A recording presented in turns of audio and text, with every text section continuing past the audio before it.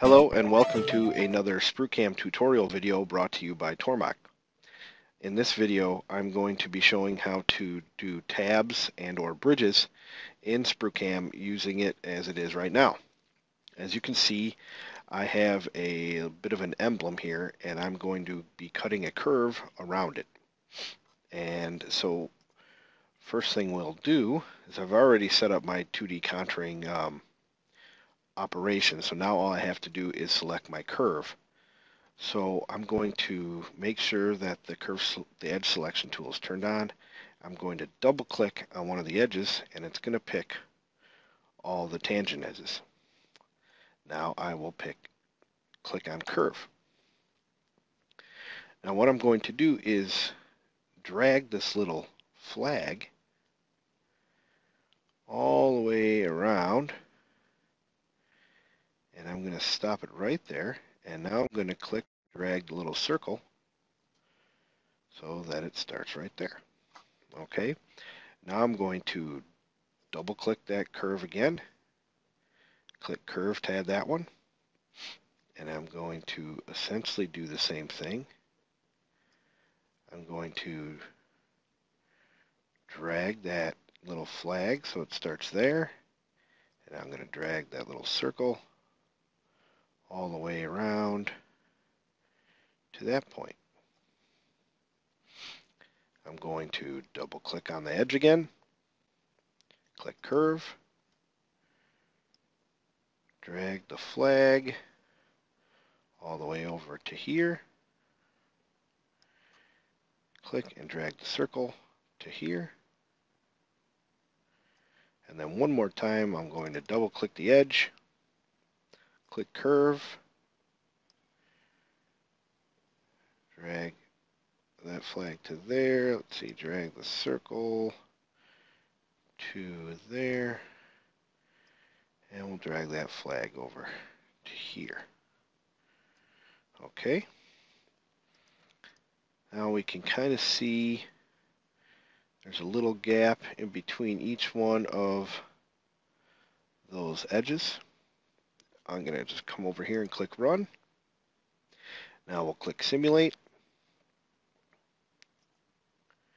And I'm going to click Play, and we can see the cutter comes down, goes to the next, up and down, up and down, and leaves those little tabs in there.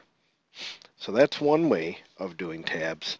That would be doing multiple contours. Now we have another way of doing tabs. So we'll go back to the machining tab. I'm going to eliminate all of those contours. So we'll clear all those out. We're going to go to 2D geometry. And you can see I have the uh, the grid system turned on. And what I'm going to do is click on circles, circle definition center. I'm going to come over to the top center of the part. I'm going to click where it looks like it's joining and I'm going to move a little circle out. And I'm going to do that same thing all the way.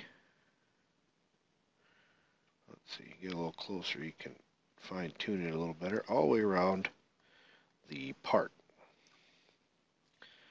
Let's go right here.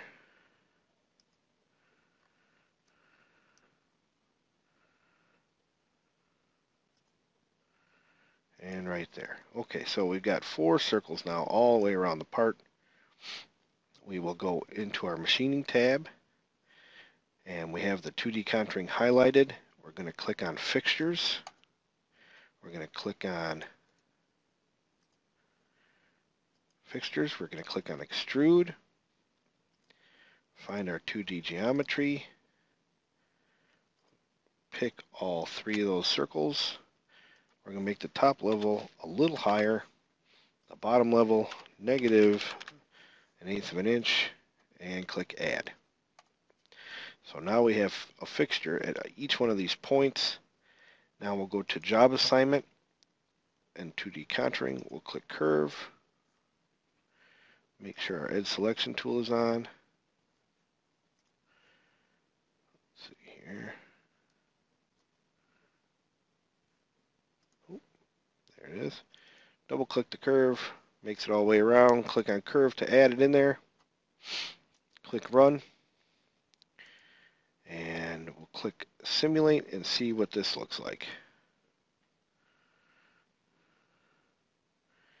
Pretty much get the same result because SprutCAM's not going to touch a fixture.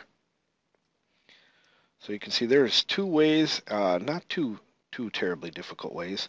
The other way you could do is you could possibly import uh, a small solid that would be um, that would look like a little tab, and you could put import that into the uh, the fixtures location and move it around. It would do the same thing as extruding these little circles.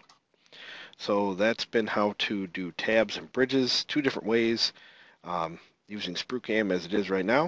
And I hope you enjoyed it. Thank you.